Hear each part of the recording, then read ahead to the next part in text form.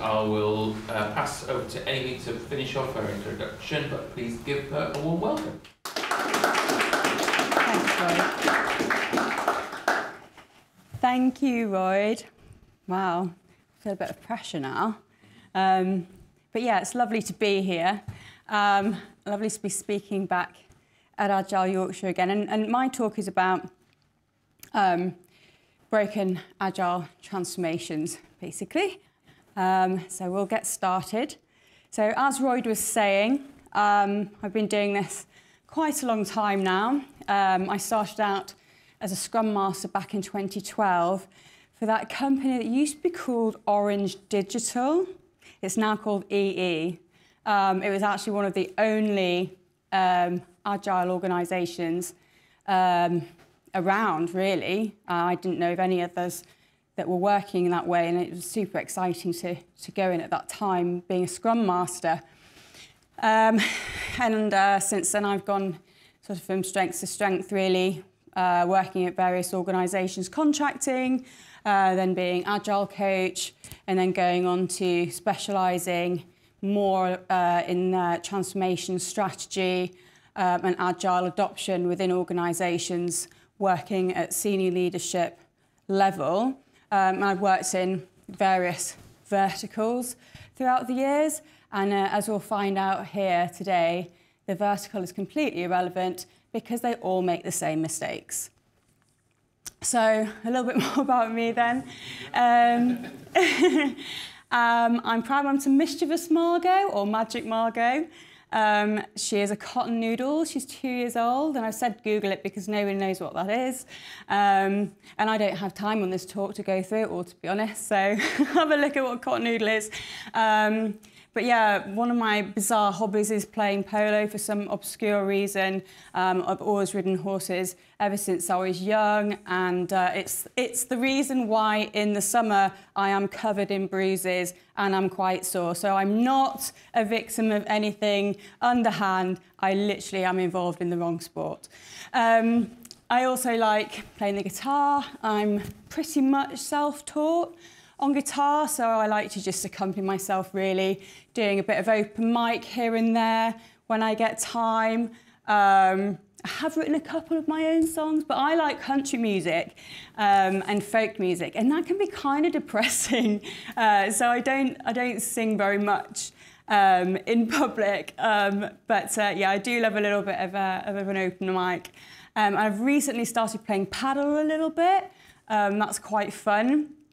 Um, I need to figure out how to stop whacking the ball completely out of the court because it's a lot shorter court than tennis. I don't know if you've ever played it, but uh, that's quite fun. Um, and I started sewing recently. I don't know why. Um, I just thought, let's just do this. And I made some cushion covers for some old cushions that I had. And I'm super proud of them. You have no idea how long it took for me to make those two cushions. Five months Five months. I mean, we didn't go every week, but still, that's a really long time, isn't it, to make two cushion covers? It's really complicated. Look at all of these patterns here, just for those.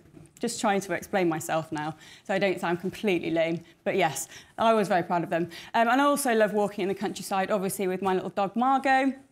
I'm a massive fan of the Lake District. Um, that's one of my favourite walks, Brant Fell, which is just uh, next to Windermere and uh, Margot had the best time as well. It's a nice way to keep a young dog quiet on a night, to tire them out in the day. So that's a little bit more about me. So why did I decide to do this talk? Well, you know, obviously, to come and speak at Agile Yorkshire again, why wouldn't I? As Royd said, uh, I've been coming here quite a long time, uh, back in the day uh, when we were on the committees together. Um, and uh, yeah, so, so it's a great place to come and speak. But also, there's a little bit more of a more serious reason as well. You know, and I don't know how many of you are in the agile coaching space or the change agent space at all, but there seems to be um, a rather concerning shift in that arena at the moment where agile coach roles, scrum master roles, change agent roles to do with Agile seem to be on the decline. And it's quite worrying because what I'm seeing more of, instead of agile coach roles and scrum master roles, product owner roles, and anything to do with transformation roles, I'm seeing more traditional roles again project managers, delivery leads. Now, I was a delivery lead two years because it was interesting to see what that role was. And it is basically a project manager crossed over with an agile coach.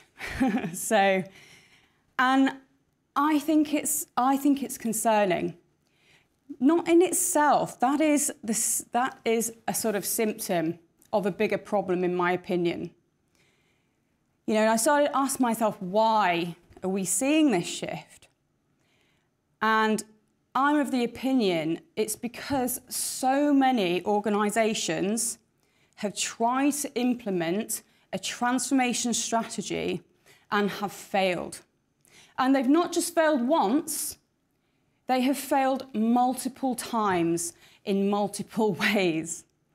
So, why do they keep failing? Why do they keep failing? I have a couple of ideas based on my own experience of working with these kind of organisations for a really long time now. And for me, the number one reason is the leadership. The leadership do not make the right decisions, or they don't make decisions at all. They lack experience a lot of the time. Um, and then they don't admit when they have made a mistake, hold their hands up and say, yeah, let's try again in some other way. If we think about it, how long does an agile transformation take in reality? From start to finish, from inception to completion, or to a point where we feel that we've reached organizational agility and business agility level, okay? Let's say for a bank, complex organization, we're looking at at least five years, maybe longer, eight years, 10 years, to get all of those people to change to be engaged, change people's mindsets, a cultural shift. It's a long process, especially for an organisation that's been running in a waterfall approach for a long time. It takes a lot to get that oil tanker turned around.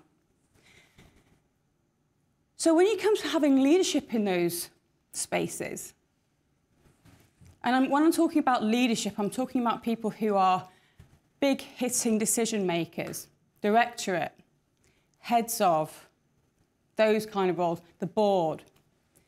How many of those people have been involved in a transformation, any transformation, not just the current one that they're involved in, from start to finish? That means it needs to be the organisation for at least five years to see it through, or to see it through to a decent point. Likelihood is very few. So what happens is, or what I think is happening is, we're getting these people into these organisations that are coming in to an agile transformation, either from the beginning, they might be part of the decision at the start, but then they'll probably leave at some point, and then someone else will come in. And when that someone else comes in, what if they weren't actually as knowledgeable as the other person? But they still feel they need to make their stamp make their mark, make big changes, and they disrupt. And they do it because they want to prove themselves, they want to prove their value to the organisation, disprove the last person, even if it was a good thing that they were doing, because they want to prove their value. They're under pressure to prove their value. But That doesn't necessarily mean that that's the right thing for the organisation, and that's a cultural problem. So you're getting people in and out of these leadership positions at various points of the agile transformation who may or may not be as experienced as the predecessor, who may want to change a strategy, potentially for the worse, sometimes the better. But the point is, not very many are seeing it through from start to finish. So the experience of those leaders are well, I'm used to going to an organisation that's already started a transformation strategy, strategy, and I'm used to getting it to here. Or another person might be, well, I'm used to going to an organisation when they're starting up. Or I'm used to going to an organisation when they want to do a restructure. But the point is, you need all of this experience at that level to do this transformation strategy correctly because there are many, many, many steps along the way from getting from where we are now to where we want to be. So, this is why I think we're seeing a shift because organizations are fatigued. People are fatigued in those organizations. They're not just fatigued from trying to adapt, to change, but they're fatigued in not getting the support from the leadership that they need to succeed. Because those leadership people sometimes don't know how. And they don't admit that they don't know how. So they keep trucking on and then they'll leave. And then the people in the organisation are left behind, fatigued. Then someone else comes in, then someone else comes in, then someone else comes in. And so on and so forth. So I think there is an industrial fatigue at the moment with agile transformation because the wrong people have been put into the wrong roles at the wrong level with the wrong level of experience. And the people that are there, that have the experience, haven't been given the opportunity to make the impact that they need to. And all of these accumulatively adds up to a failure. So, my talk today is going to attempt to address some of these issues. So, if there are anybody, uh, uh, anyone amongst us who are in those leadership positions or positions of significant influence, or you know of someone in those positions, or if there's even people watching this talk today on the YouTube channel who are in those positions, this talk is for you. Because I really want to help these organisations, because I do not want agile to become a dirty word. I do not want us to start hybriding waterfall with agile again. To me, that's going backwards to 1990, you know. And I'm all for like bootcut jeans and everything, but I've moved on to skinnies. You know what I'm saying? I don't want to go back to 1990 and before that. Although the music was quite good, to be fair. But the point is, we've evolved. We should keep evolving and we shouldn't be regressing. And we need to find the courage to keep pushing on, pushing on, pushing on, improving, improving, and getting better. How do we know if an organisation needs fixing? Um, Well, first of all, it's kind of like, well, what did you set out to do in the first place? As a leadership team, as an organisation, what did you set out to do in the first place? What did you aim to achieve? And have you not achieved that? And why? It's like with any change program. It could be small, it could be large. But if you've not achieved what you were hoping to achieve, which is maybe increased revenue or reduced attrition, if you haven't achieved those things, you need to ask yourself why and what are the problems that we've got? You know you need fixing if you spent a load of money on organisational change through consultancies, contractors, coaches, education, whatever, and you're still not seeing the improvements that you expected. Now, these are things that I'm going to address as well expectations, etc. But there are telltale signs as well that even leadership surely don't miss. So, I'm going to ask you guys in your world where you guys work, you may or may not have been involved in an agile transformation, but what sort of things do you think indicate that an agile transformation has not gone to plan? just shout out to me, but shout loudly because I'm a little bit deaf. Still see component teams rather than cross-functional teams in a lot of areas. Yeah, so the structure of the organisation, the organisational design isn't conducive to agile. Yeah. Any others? Leadership still drives deadlines and fixed expectations. Leadership is still working to deadlines and have those expectations. Yeah, well, that in itself isn't too bad, but if the conditions to meet a deadline are not correct, i.e., far too many features for far too short space of time, the technology doesn't allow enough deployments in order to iterate. If the test environments are shocking, etc. So again, it's to do with that's to do with the technology not being conducive, the infrastructure not being conducive, potentially, or not having the right practices and processes in place to allow teams to thrive. Anything else? Leadership just not being interested in the transformation anymore. Absolutely. People still. Yeah, that's a big one. The leadership aren't invested. They don't really care, and they think it's up to everyone else to do the work when they couldn't be more wrong. You know, and the problem is when leadership have that attitude, everyone feels it. It cascades. And again, I will talk about this because it's a, definitely a big thing. A big, big thing. So here's some of the comments that I've come up with. Nothing ever gets finished. Our tech doesn't allow us to be truly agile. So nothing ever gets finished. Why do you think this is? Why does nothing ever get finished? Changing requirements. Think, things are too big. Changing requirements, things are too big. So changes in prioritisation is the major reason why things get started and not finished. And it shows a massive lack of agility because the market's moved on, the business have decided something else is more important, and so what they've invested in has stopped and started something else. In a nutshell, this is what this is.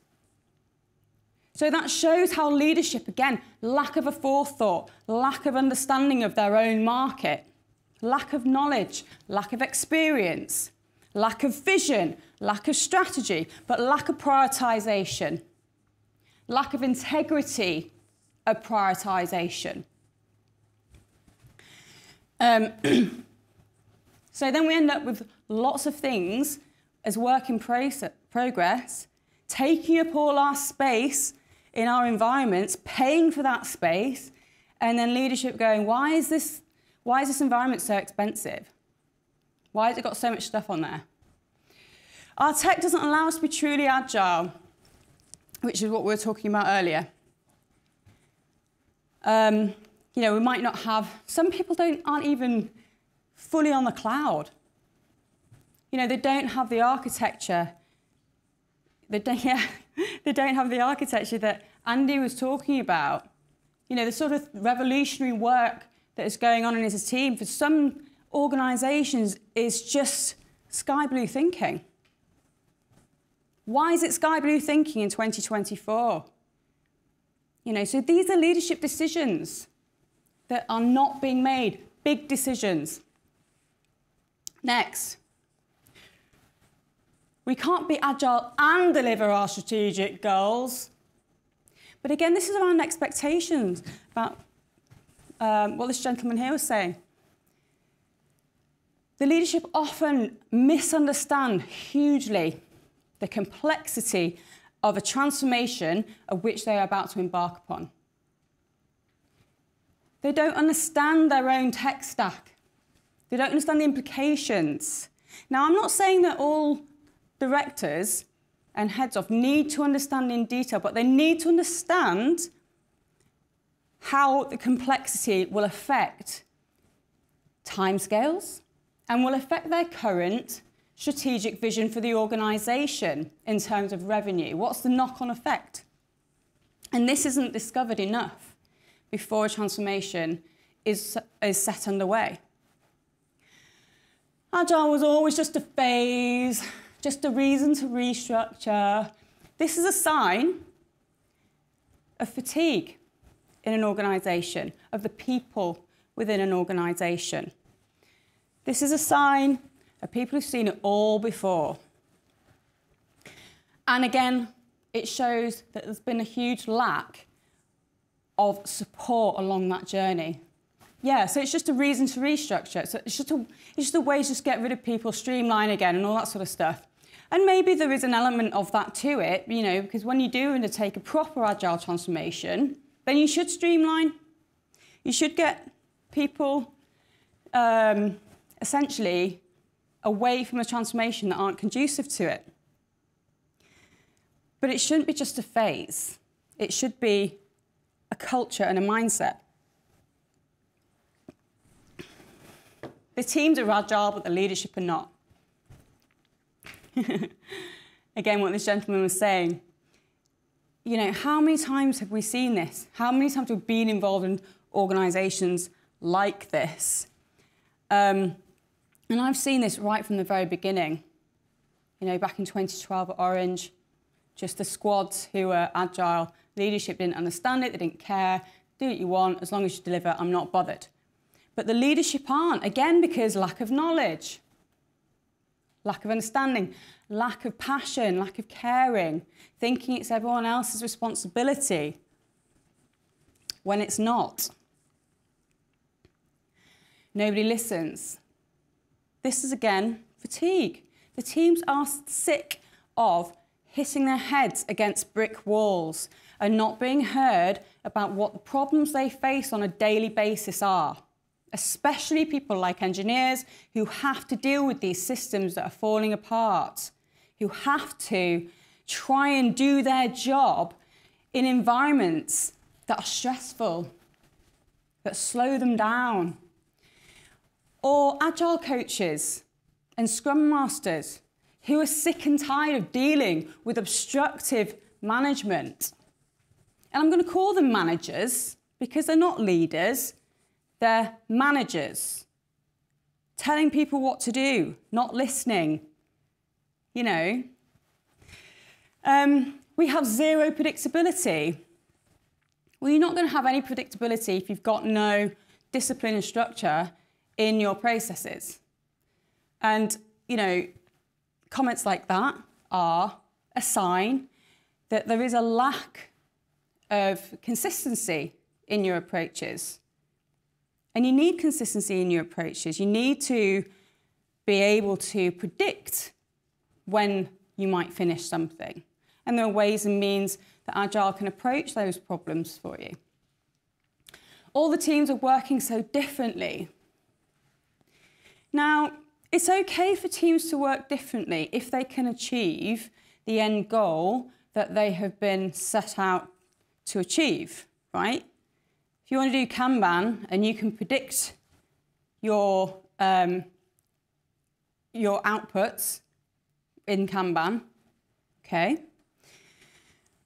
Um, but if all the teams are working so differently that it's a problem, then it shows that there is a lack of consistency and people are on different pages about what agile actually means and what being agile is and what agile processes look like. So it could indicate a lack of education um, or a lack of discipline or just people, again, are fatigued. They just don't care anymore. You know, we were talking about, uh, Andy was saying in his slide, you know, where when other teams tried to do and replicate what he did, they didn't do the best job in some cases. That was a little bit half-assed.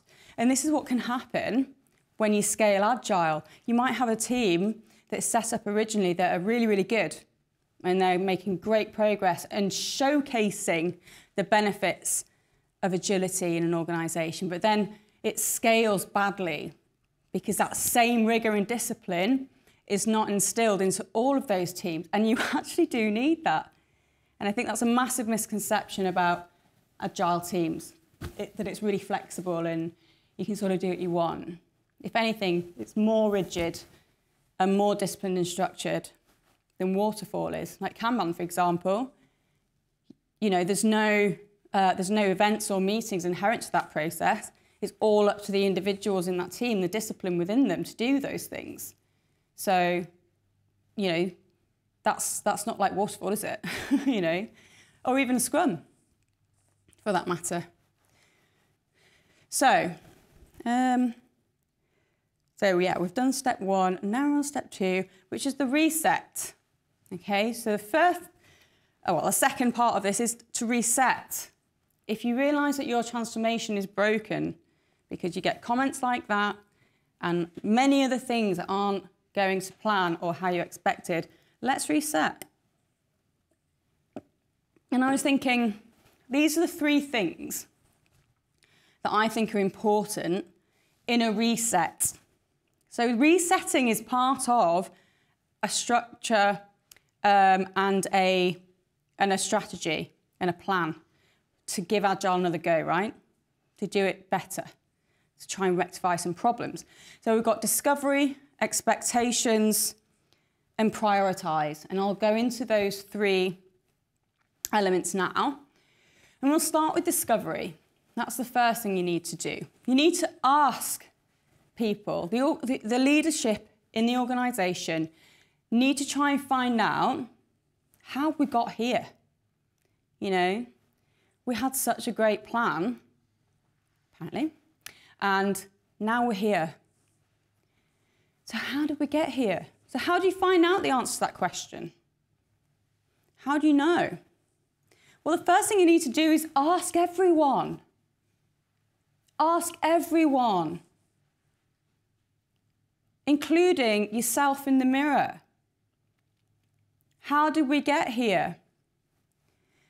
So, do whatever you want to do to get the answers to those questions of what went wrong. You could do a large scale retrospective, like a program retrospective, a divisional retrospective, a community practice retrospective, anything like that, you know, to find out in a safe space what, how do we get here? Where do you think the problems are? Um, also, surveys as well. And again, as Andy was saying, this is a difficult thing to get right. But invest in getting that information because the answers to all of the problems within an organisation lie within the people who are in that organisation. You just need to ask them. That's all you need to do. So cover your surveys to maybe talk about just culture, to talk about, you know, focus on culture, focus on engineering, focusing on delivery, focusing on products, so that you can start to understand, again, which areas do you need to focus on if we're going to give this another go. It's, it helps you prioritise. And like the surveys in Andy's uh, talk, there's 25, maybe 30 people, but it was enough to see disparity between one survey and the next, and enough to help guide prioritisation.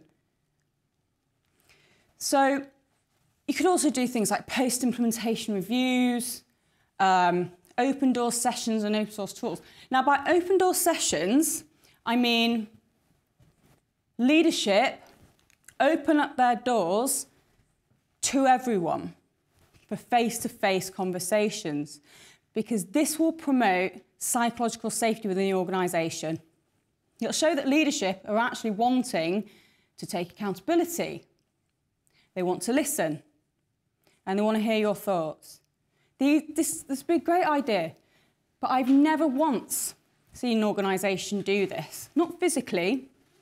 There's been organisations I've worked in where they've had um, uh, like a, an intranet site where you can go and put your comments in to this uh, sort of portal that goes to leadership, um, but not something as, as informal as one-to-one sessions available. But the moral of the story with discovery is finding out what's gone wrong. But you need to bring leaderships and teams close. Because another go needs everybody's buy in. Because don't forget, everyone's fatigued. and then stay close. So it's no good just leadership showing up for the start, for the discovery, and going, hey guys, we're really sorry. sorry, my bad. Um, what went wrong?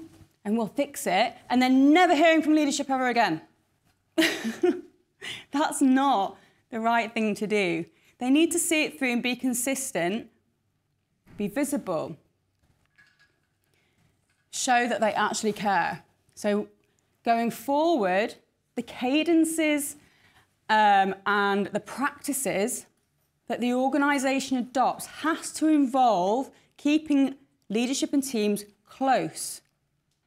And we'll talk more on that in a bit, but this is a theme that will run throughout this, this talk.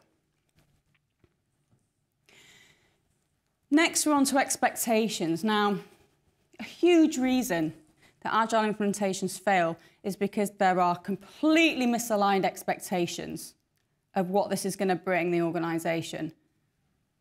You know, they think there's going to be masses, mass, mass, mass um, cost savings, uh, or they're just going to be automatically earning 10 times more.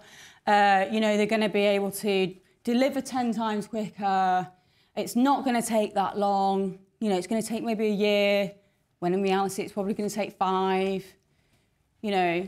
Um, so expectations to be reset, to be realistic, is hugely important because when expectations aren't met, that's when resentment kicks in from leadership because they start pointing the fingers. Not this way, by the way, they point it everywhere else. But the plan has to be realistic in the first place, and it has to be aligned. And by aligned, I mean with all the other leaders in the organisation.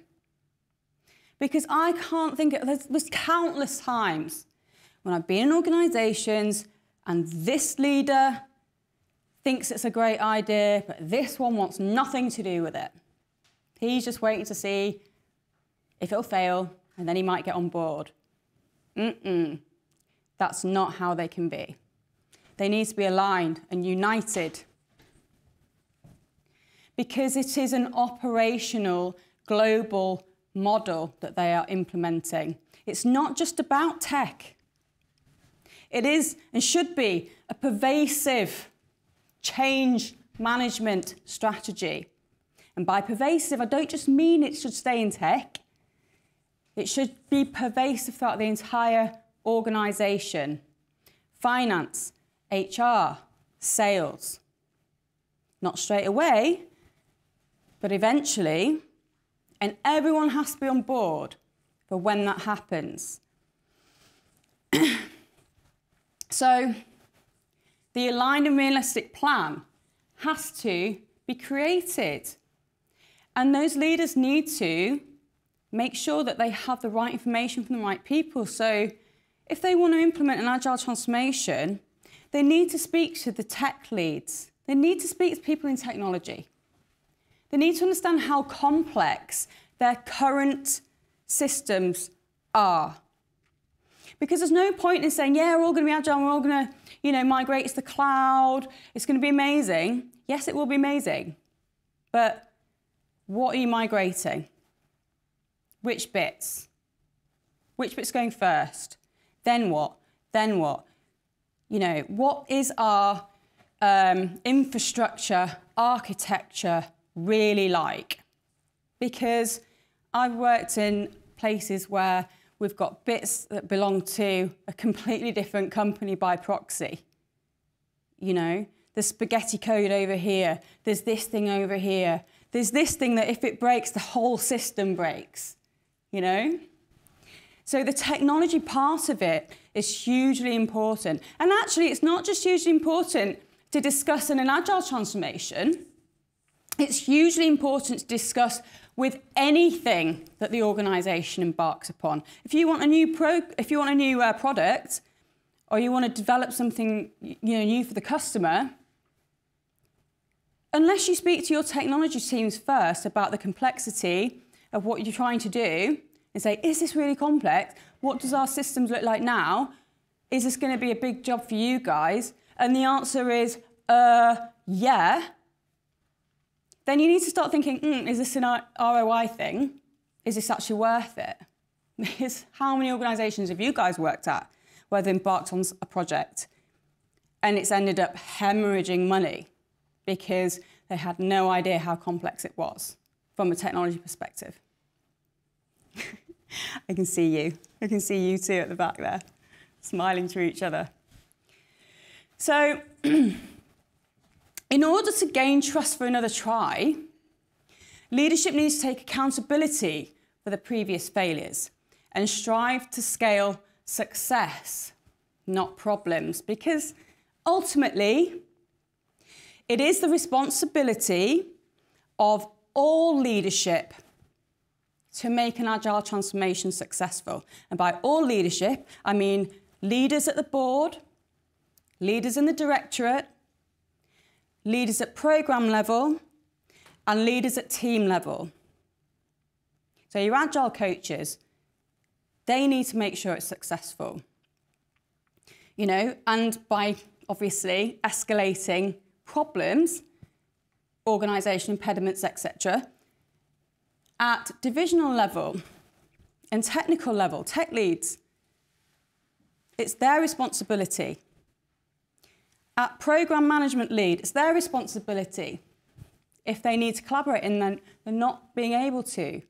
You know, it's up to everybody to escalate organisational impediments to senior leadership at directorate and the board so that they those big hitting decision makers can make those decisions because we can't really blame leadership if they don't know what the problems are. And we'll talk a little bit about demigod culture in a little bit. Um, but the reason I put these circles here, of we are here and we want to be here, because there are many steps along the way to get from here to here. This is five years or longer for a large organisation. There are so many steps along the way, so many small steps along the way that need to be done right and uh, tested and learned from. and this is where a lot of organisations fail because they don't know the practical steps of starting small. And again, like Andy said, he found, he found an area that were enthusiastic about it, about what he was doing, and they were happy for him to go ahead. The same principle applies for this, starting in a small area, getting that running really, really well, and organically scaling good stuff. But they're the practical steps that they need to understand. So, again, that's complexity, and the expectation around complexity needs to be um, it, it, needs to be fair, I think. Um, and finally, prioritise bio change backlog. Now, prioritisation in any organisation is important, whether they're agile or not. Okay, I prioritise what I do um, because I have to do that because I'm terrible. I've got ADHD and I'll be like this and then I'll be like this and I'll be like this. But that's what a lot of organisations are like. They don't prioritise. And that's why things don't get finished. And that's why they hemorrhage money. And that's why the board get annoyed because they've lost loads of money and why, where's it gone? And they don't know. And it's all the tech team's fault because they keep starting things and not finishing them. So when we're coming to talk about an agile transformation, prioritizing which bits to do first is really important. So if we start over in this area, potentially because it's, it's essentially ring fenced anyway, we could probably get some really good wins over here. And then we'll take those, those learnings and then maybe we can try over here. Or something might organically emerge where a team comes through. But if we prioritise the bits that we want to do first, That's what's important. And, and it could be that we do the worst area first, or the worst bits first, the most problematic bits. Maybe we've got some technology that is so severely lacking in being fit for purpose. Or we might go for low hanging fruit first, where, like I just said, there's a team over here that are ring fenced pretty much. It would be a quick win, it would be a good showcase. Whatever method an organisation chooses to prioritise, just go with it, stick with it. Don't keep changing your mind because that's how things get started and not finished. Attraction isn't gained enough and you don't learn enough because you need to learn from your mistakes and then think, okay, we'll do better next time, we'll try this, try that. But priorities, priorities need to stay the same, otherwise, nothing will get done. Um, and I think that's a really important element. And it sounds really rigid. But if you don't stick to your priorities and what you think needs to happen and why, because you've done your discovery phase, don't forget, you've got your data, you've got your understanding, you should be able to make informed, potentially data driven decisions around prioritisation and stick to them and get your results. Then move on to the next bit. Okay, so step three, I think it's important to have practices and principles in an organisation. And if they don't have any, they need to write some. Because practices and principles enable a baseline measurement of maturity to be assessed. Um, and it provides um, you know, a structure for people to work towards, to, to use in their retrospectives, to understand how they are progressing in terms of their agile maturity. Okay? And you can see how you've changed in maturity over time or how you might have even regressed. And it just is a really great uh, tool for guidance and steer in an organisation.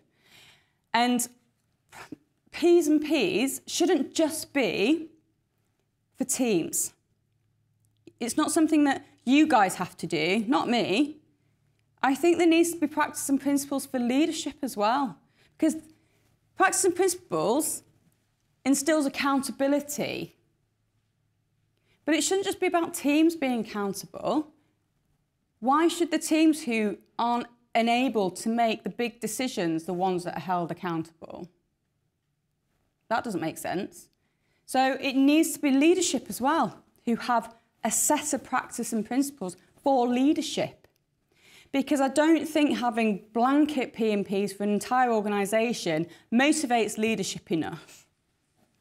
So I think having separate practices and principles for teams and then other practices and principles for leaders helps move, uh, helps organisations uh, towards their uh, the culture of accountability for everyone. Um, and as a fundamental method of keeping senior leadership teams close. Again, so good practice and principles should be around for leadership anyway. Uh, something like, for example, uh, we are engaged and available to our teams.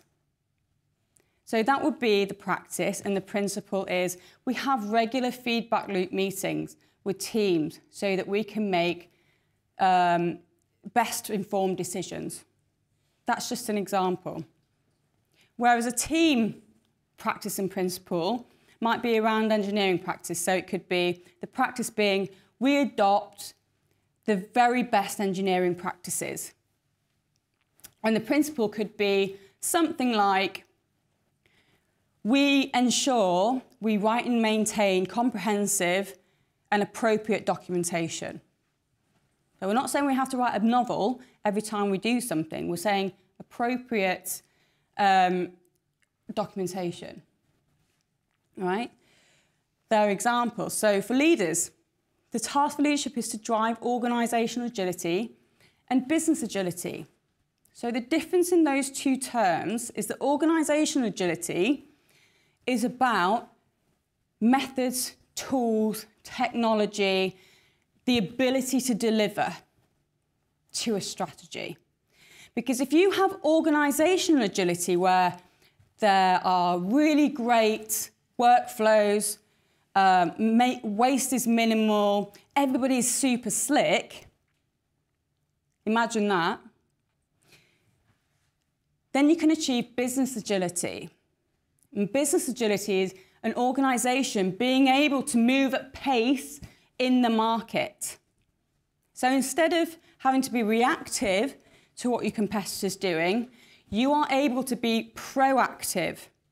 You're able to be the front runner and you're able to be the trailblazer because whatever you decide to do, you can then turn to the teams in your organisation, knowing full well that they have the practice principles and skills and ability to be able to deliver because the organisational agility is slick. Leaders need to become servant leaders, not managers.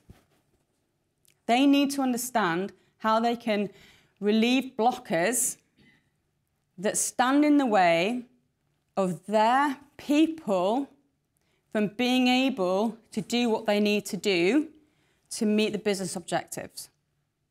And this is why they need to be able to make big decisions and challenge the status quo without fear. And again, that's a cultural issue, the psychological safety, but it's also an experience issue of how problems can be solved in those, in those um, situations. How do they work with people to solve those problems? Are they effective or not? Leaders need unity on priorities because leaders need to talk to each other about what the overall business strategy is. What is this business trying to achieve? Yes, it's broken down into smaller bits, but as a whole, what's the business trying to achieve? And how do those leaders contribute to those achievements being met within their area? And they all need to agree on what they're all going to do. And that means they have to talk to each other. They have to communicate their visions. And they have to explain what that entails. They need to know. Because so many places I know, there isn't unity on priorities. There's a lot of jostling at that level. There's a lot of um, egos wanting to get their thing in first, or they want this and they want that, and they don't agree with this, they don't agree with that. There's a lot of squabbling. They need to stop that and become united because that is a big reason that transformations fail. Because lack of prioritization means things get started and not finished, and then you hemorrhage money. And if you hemorrhage money, you're not going to be around for long. So it makes sense to put personal differences aside and start thinking outside of the box of what does the organisation need though? What's going on in the market? How can I help? You know, how can we work together? they need to be clear and, and realistic for goals for the organisation and maintain that vision. A realistic vision, by the way, because what's the point of having a vision that's so unbelievably unrealistic? You can have blue sky thinking, absolutely. But make sure that you understand that to get to there is going to be a long, long time. So just be clear on what your vision is for now. What's your vision for now? We'll worry about all that later, but if we can prove that we can meet this vision, so it might be uh, two divisions are, you know, up and running in uh, Scrum teams by the end of 2026, for example. And then scale, scale, scale, etc. But my point is, be clear and realistic on the goals for the organisation, whether it be for the organisational transformation, or whether it be for business strategy goals, whatever it is. But these things contribute to agile transformations failing. So to fix that, be clear on your vision, be clear on your prioritization, stick to it. Um, use data driven decision making, not emotional decision making. So again, it goes back to, well, I want this, and I want that, and I want this, and I want that. Stop squabbling and think about what does the organization need? What do our customers need?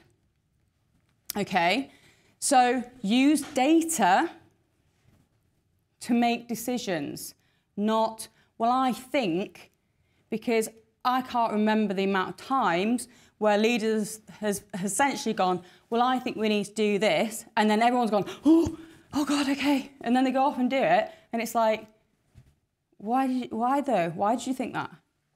What evidence did you have apart from what you just thought of in that second in that meeting? These are things that hemorrhage money in organisations. These snap decisions, well, I think this. Mm. So it leads me nice to talk about critical thinking. This is a, a really new concept, actually. Well, it's not a new concept, but it's a concept that's being introduced in a new way to agile and, and transformation and leadership. Because critical thinking challenges what is known as heuristic thinking, thinking that has always been. You know, naturally as people, our brains work really fast. Or if you're like me and you've got ADHD, they work super fast. And it's like you get from A to B like that. Because your brain is kind of lazy, it wants to get there quick.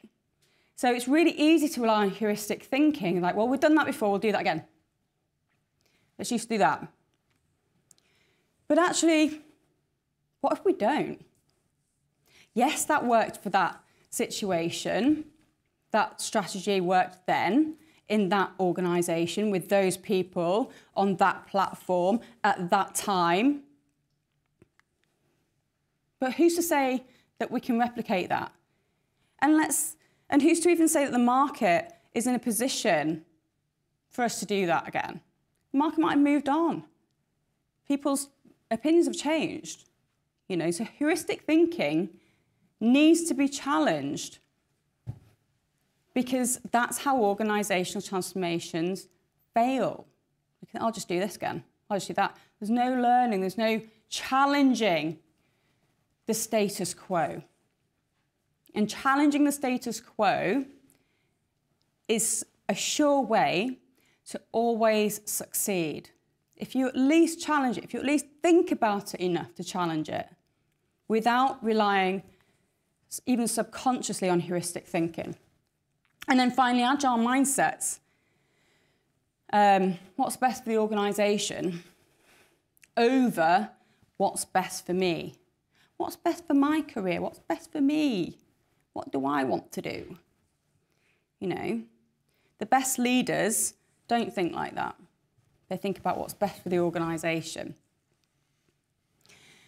And then practicing principles for teams is simply based around them being able to adopt an agile mindset of continually improving um, in order to deliver what is asked on time without compromising on quality. And I'll talk about the agile mindset and make that clear in a few slides' time. But do it right, do it well. Going back to Andy's uh, talk as well. And uh, go back to basics if you have to.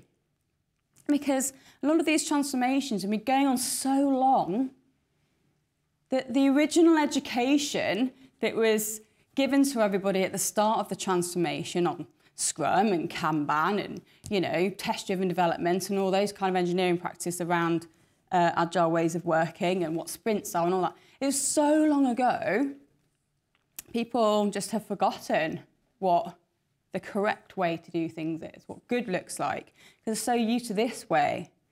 So, you know, sometimes it's good to go back to basics. Start from scratch. Um, step forward around cultural shifts. A massive element of transformation failures is because the culture is not conducive to that change. And that's because of leadership. It is the leadership's responsibility to ensure that an agile transformation is successful, ultimately. So, you know, when they're not invested and not bothered and not involved, they are part of that problem. So, culture shifts cascade from leadership behaviour. And that's not just leadership at directorate or board level, it's actually leadership in teams as well. Um, I've worked in teams where developers have come over to my team, where I've been coaching, and they've gone, oh, this is so much nicer, this is so much better, and they're so much happier because in retrospective we can be honest and we can have constructive uh, conversations around differences of opinions in a safe space. Makes a big difference. Um, but it's up to leadership to instill psychological safety throughout the organisation. And they need to lead by example. So, doing things like the open door, like I mentioned at the beginning, is a great way to kick that sort of behaviour off. Um, so, these are examples of which are not conducive to agile transformation strategies when we see it in leadership. And these, fixing these problems is going to make sure that an, another try will be successful. So we all know of leaders or managers in our organisation that have these traits of, you know, they've got egos that come in and they want to make changes and they want to do this and want to do that and, you know, they're led by their, their egos. They're ignorant, not interested. That's your job. You know, they adopt this demigod culture of, I'm so far up here and you're so far down, I, I'm, I'm too good to speak to you. Because what that does is it reverses as well, where managers at mid level don't dare speak to them, don't dare tell them what's really going on. So actually, they never get really informed. So they're constantly getting their ego plumped, going, "Oh yes, oh yes, yes, everything's fine. It was going very well. That was a great idea what you had." So they're there thinking, oh, "I'm amazing. Look at all this that I'm doing."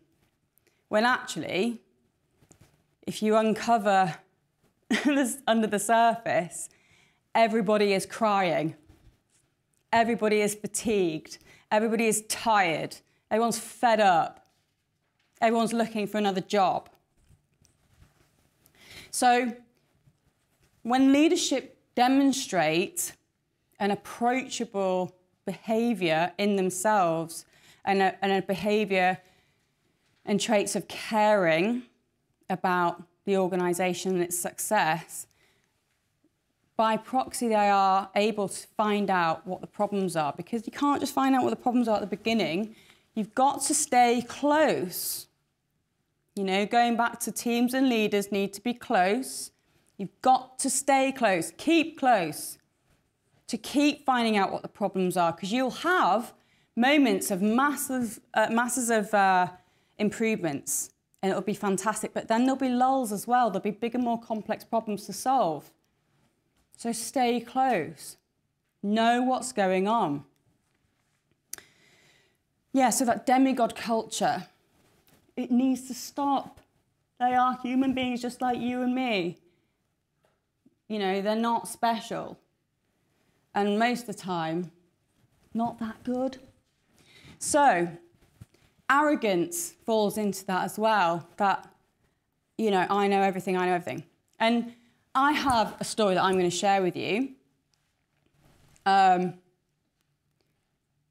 which shows, you, you know, uh, of an experience of my own when I was a leader. Um, but servant leadership is what's needed in organisations. Again, we've mentioned this. And servant leadership is about other people. It's about serving others. What can I do for you? And it's actually really interesting because in, um, in any literature that talks about relationships in general, especially romantic or intimate relationships, the most successful relationships are when people want to know how they can help each other. How can I help you? And toxic relationships revolve around what can you do for me? So, servant leadership is about people. And I learned so much about this in one of my roles. And I'll share that with you in a minute. Support human beings.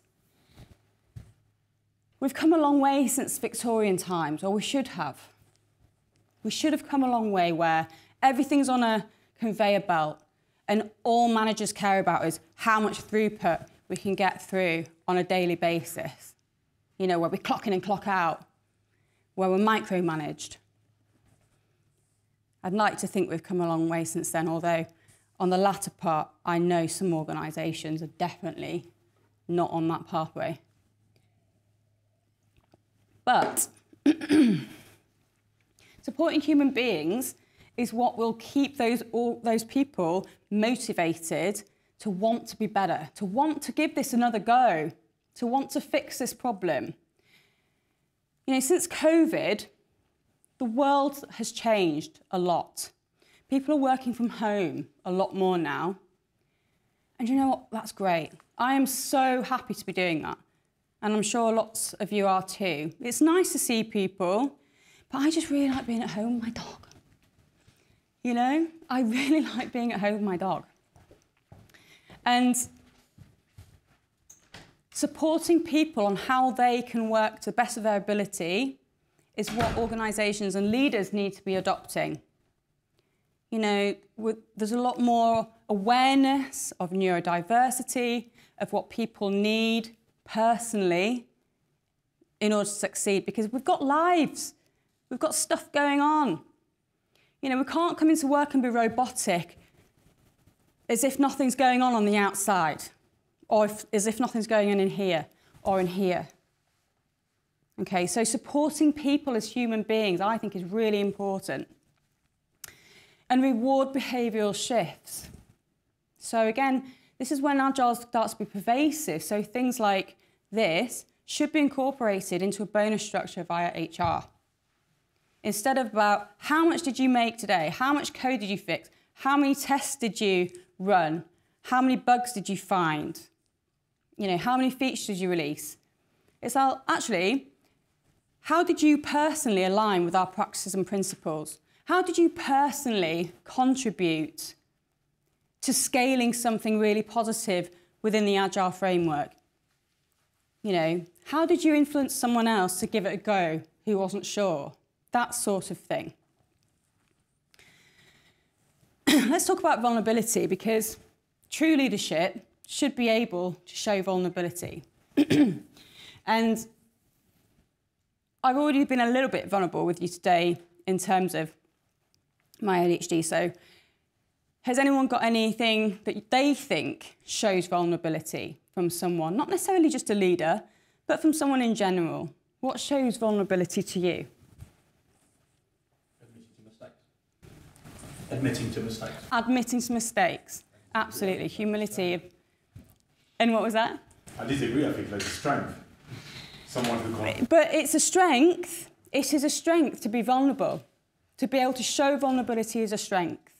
So to admit that you've made a mistake shows strength of character because when you admit that you're wrong, it's, you feel vulnerable, don't you? You think, oh God, how will people react to that? Will they be angry? Will they think I'm rubbish at my job? it puts you in a vulnerable position because people might be then dismissive and go, oh, well, yeah, you did. You really messed it up, didn't you? You know, people might react like that. So it puts you, being vulnerable puts you in a position that is kind of trepidatious. You're not sure how people react. But it's very important for leadership. Now, I'm going to tell you a little story about when I was um, working as a head of Agile and I had about 30 odd coaches. Now, bearing in mind, this is way before I knew that I had ADHD, and that does count for a lot. I will say that now. But I went in there thinking that a leader meant that I need to tell other people what to do because I thought, well, I know more than them and I've done this more and longer, so they just need to sort of do as I tell them and then it'll work. That was what was going on in my head. so, in a roundabout way, it was coming from a good place about what was best for the organisation. But I hadn't taken into account these things. Definitely not these. Um, and I realised, it took me ages to realise because I was under a lot of pressure to deliver that job. So this is why I do understand when leaders feel the need to put their stamp on things and feel the need to do things. But what I understood is that actually, these people have all got their own experiences and their own strengths. And I started to understand that I can't do this without them. You know, regardless of their experience level, they could all help me in whatever way. So I changed my uh, my sort of approach from being very directive and you will do this and you will do that. I look back now and I think, oh my God, I can't believe I was like that. And I, you know, I just can't now, looking back. But cultural uh, pressures, etc., that's why I was. I just really wanted them to be the best that they could be super quick. And just was like, right, you need to do this now, you do this, you do this. But once I started changing the way that I approached that problem of how can we all work to figure this out and engaged with them, it was so much better. And they stopped seeing me as this dragon, I think, and more of a proper collaborative leader. And it felt so good. This is the thing that if any leaders watch this, it felt so good to be like that. I stopped going home stressing out, not sleeping at night, to suddenly feeling like it's going to be okay. They're all on board, they're going to help, we're going to get through this together. Um, and it felt a lot better. And I think if I've learned anything from that time, it was more about myself and leadership than implementing agile transformation strategies. And if every leader can take that approach, that would be truly amazing. So I'm just going to, I think I'm conscious of time, so I'm just going to skip through the agile mindset bit because I think much of you probably are aware. And, you know, there's just basically four pillars, and I thought it'd be quite fun to put this tarot card in because four, historically, or in numerology, is around um, stability, structure, that sort of thing. And there's four pillars, so, you know, almost like strong foundations. Step five is embody a tech mindset. And instead of thinking of your organisation as we are a bank, we are a television company, we are, um, we are a, a betting shop or a betting company, you need to start thinking we are a technology company specialising in banking. We are a technology company specialising in betting and gaming. Because once you start putting technology at the forefront of your agile um, transformation strategy, you will then allow an environment that is conducive to organisational agility. So investing technology to, be, to enable pace in today's market. Invest in your engineers, nurture and develop them. Again, talking about focusing on people. It sets the pathway towards organisational agility. So obviously invest, in your, in your, um, in your engineers, which will eventually return your investment back to you through lack of attrition and also through developing high quality uh, products and features in good time. But failure to invest in technology is in itself a failure. So, in order to prevent failure and to fix a broken agile transformation, which may revolve around technology not being invested in, make sure that you're doing everything you can to invest in it. Step six is organizational design. So the organization must be designed around technology. So focus on one area at a time. So if technology needs to improve in one area, do it. See how it works. See how you can scale that.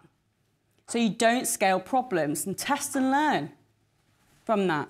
Make sure that the problems are not scaled throughout the organisation. Leaders need to be ready to make some big decisions based on what is best for the organisation and not themselves. Foster a test and learn mindset. So, again, transformations fail because there's no MVP mindset. You know, and they're like still thinking old school, big, when we're going to get all these features in, when we're going to do this, when we're going to, you know, that's not what agile transformation is. Focus on MVPs, the, the minimum viable product, and then deliver incrementally. But again, keep leaderships and teams close. Remember the fundamental aspect of return on investment. So you've got to always be aware as a leader is this returning on the investment? Is this costing too much now? Do we need to pivot?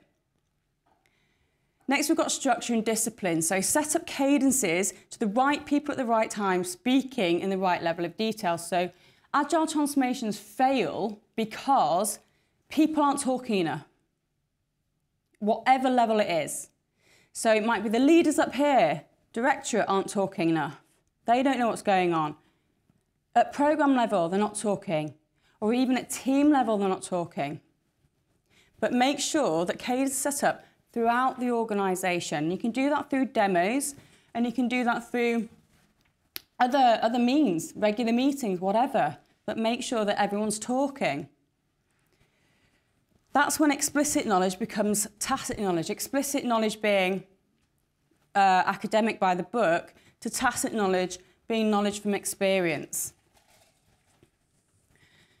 Step nine is keep continuously, continuously improving, and that is, um, you know, massive way marker of what agile transformation looks like.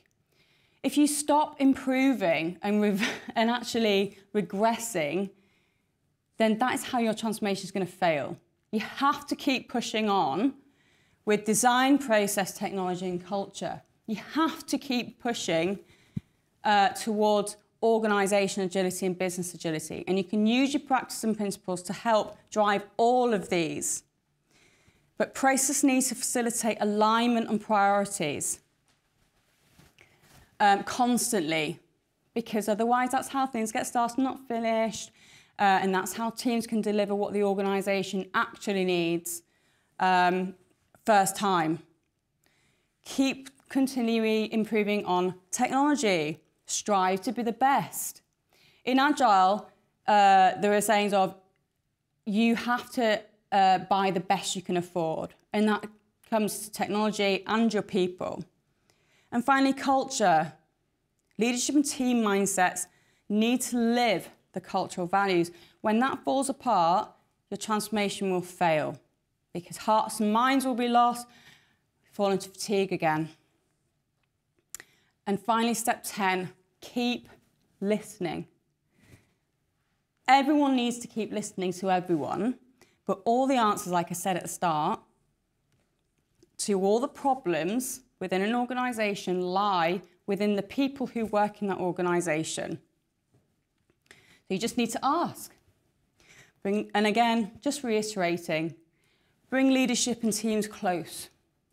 Set up your structures to bring leadership and teams close because another go needs everyone's buy in and then stay close. Thank you, everybody.